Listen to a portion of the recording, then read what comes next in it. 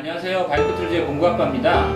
에, 오늘은 그 튜브의 튜브의 밸브의 종류에 대해서 좀 알아보려고 하는데요. 여기 이제 이렇게 좀 쉽게 볼 수 있게 튜브의 밸브 종류들이 샘플로 나온 것들이 이렇게 있어요. 이게 이제 출발부에서 나오는 자기네들이 어, 튜브에 실제로 사용하는 그런 밸브들만 이렇게 모아서 볼 수 있는데 어, 사용하시는 분들이 궁금해하는 것 중에 하나가 이 밸브 캡인데요.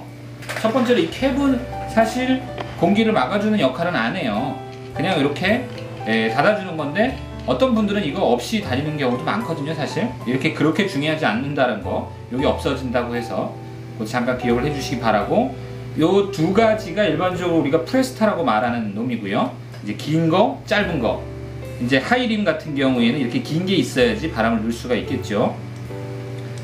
자, 그리고 요 옆에 있는 것이 예, 그 세 번째 있는 게 던롭이라고 부르는 놈이고요. 그 다음에 마지막이 슈레더라고 부르는 놈이에요. 자동차에 들어가는 밸브랑 똑같이 생긴 놈이죠. 그래서 일반적인 생활 자전거에 가장 많이 사용되는 게 이 던롭이라고 하는 건데 실제로 여기서 사용되는 거랑 일반 자전거에 사용되는 놈은 조금 다른데 이제 코어를 여기 빼보면 일반적으로 여러분들 생활 자전거에 들어가 있는 코어랑은 좀 상당히 다르게 좀 고급스럽게 생겼죠. 이거는 사실상 실제 우리나라에서 국내에서 보기는 거의 힘들 거라고 보고요. 실제로 보시면 생활 자전거에 들어가는 이런 튜브를 보시면 이제 거의 뭐 생활 자전거가 대부분 이제 자전거들을 많이 차지하니까 실제로 던럽 밸브가 거의 이제 90% 이상을 차지하겠죠. 그래서 어, 이렇게 이런 튜브를 가져오면 이렇게 일반적으로 이제 그 어, 무시라고 표현을 하는데 뭐 이런 세트가 같이 들어가 있어요. 이런 걸 이제 무시라고 하는데 그냥 이제 그 고무죠. 이 고무가 이제 자주 낡아요. 그래서 이 고무가 낡으면 고무만 교체를 할 수 있게 되어 있는 거고 얘를 꽂아서 양쪽에 이렇게 선이 있죠. 이 선이 여기 홈에 파진 데다가 걸리도록 하고 그 다음에 마감을 이렇게 해주고 이렇게 하면 끝나죠. 그 다음에 바람을 넣으면 쭉 들어가는 이런 형태가 던롭 또는 뭐 우주라고도 부르는데 던롭이라는 밸브가 되겠고요. 자, 그 다음에 이제 고급 차에 많이 사용되는 것이 여기 이제 보시면 SV 그 다음에 여기는 AV 이렇게 되어 있는데 SV로라고 표현된 게 이제 슈발베에서 나올 때는 아, Schrader 타입의 아 Presta 타입의 Presta 타입의 밸브를 가진 놈이 SV가 붙고 그 다음에 Schrader 예, auto라고도 하죠. 자동차용과 같다 그래서 그런 놈인 AV가 붙어요. 이제 그걸 구별해서 쓰시면 되고요.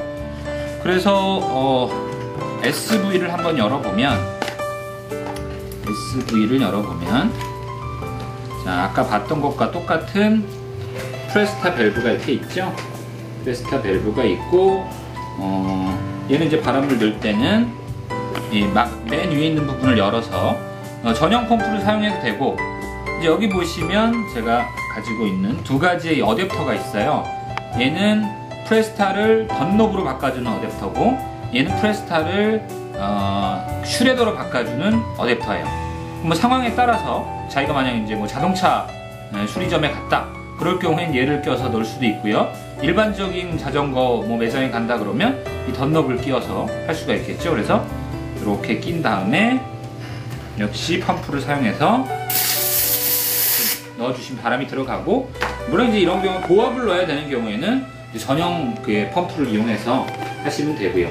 이 프레스타에서 하나 기억하셔야 될 게 튜브 중에는 튜브 중에는 이 코어가 코어라고 하는 부분이 분리가 되는 놈이 있어요. 그래서 이런 공구를 이용을 해서 이 안에가 이렇게 홈이 파져 있죠. 요거를 이 부분에다가 이렇게 넣고 딱 맞게 넣고 그 다음에 돌려줘요. 푸는 방향으로 이렇게 돌려주면 코어가 빠져나옵니다. 이렇게 이게 프레스타 밸브의 코어예요. 이 부분 이제 잘 보시면 이렇게 눌려져 있으면 이 부분이 뜨죠? 그럼 바람이 들어가는 거고 이렇게 되면 막혀서 바람이 안 들어가는 거예요. 물론 이 코어가 빠지는 놈이 있고 안 빠지는 놈이 있습니다. 그래서 여기 이제 주의하실 게 뭐냐면 이렇게 빠지는 놈, 특히 그 어, 튜블라 타이어 같은 걸 사용할 경우에 어, 이런 닥블루 같은 걸 넣어서 닥블루 같이 이런 sealant를 넣어서 펑크를 방지하는 혹은 또 작은 펑크를 막아놓는 역할을 할 때 이런 코어가 빠지지 않는 경우에는 사용을 할 수가 없겠죠 이런 경우 이런 거를. 그래서 이렇게 코어를 빼고 닥블루 같은 제품에는 이렇게 넣기 쉽게 이렇게 어댑터가 또 들어가 있어요. 닥블루를 넣어주는. 그래서 이렇게 넣어가지고 요 어댑터 요 부분에 맞춰서 이렇게 넣어주면 되는 거죠 요런 방식까지 예, 이걸 기억을 해 주셔야 되는데 주의할 거는 이제 마지막에 다시 요걸 넣을 때는 여기 이제 구리스 같은 걸 충분히 칠해서 여기에 밀봉이 확실하게 되도록 이 부분에서 요걸 확실하게 안 닫아주면 이 부분에서 바람이 새 공기가 새어 나올 수 있어요. 그래서 이 부분을 확실하게 닫아주는 것까지 기억을 하시면 될 것 같고요. 그 다음에 이제 마지막으로 어, auto라고도 부르는 Schrader. 뭐 많지는 않지만 사실 가장 많은 건 던롭, 그 다음에 Presta, 그 다음에 일부 어, Schrader가 되겠어요. 그래서 Schrader의 경우에는 어, 똑같이 이제 보시면 되고요. 자 여기에는 뭐 특별히 뭐 할 거 없이요. 얘는 그냥 어, 이제 이런 펌프를 보면 Presta 아, 아니 그 공기 압축기를 하는 컴프레셔를 이용하는 요런 이제 공기 주입 주입구죠. 요 주입구를 보면 이쪽은 덧너블 넣을 수 있고 요게 슈레더를 넣을 수 있는 거거든요. 슈레더를 넣을 수 있는 요런 주입구를 이용해서 주입구에다가 대고 여기 보면 이제 요 부분을 누르면서 공기가 들어가는 거거든요. 그래서 이렇게 대고 누르면 이런 식으로 공기가 들어가죠. 슈레더의 경우에는 공기 넣기는 굉장히 간단해요. 그리고 공기를 빼줄 때는 뭔가 뾰족한 부분 같은 걸로 이 부분 끝에 끝에 이 부분이 이렇게 나와 있죠. 이 부분을 이렇게 눌러주면 공기가 빠지죠. 그러니까 뭐 타이어 튜브를 교체해야 된다거나 할 때는 이런 식으로 눌러서 교체를 해주면 됩니다.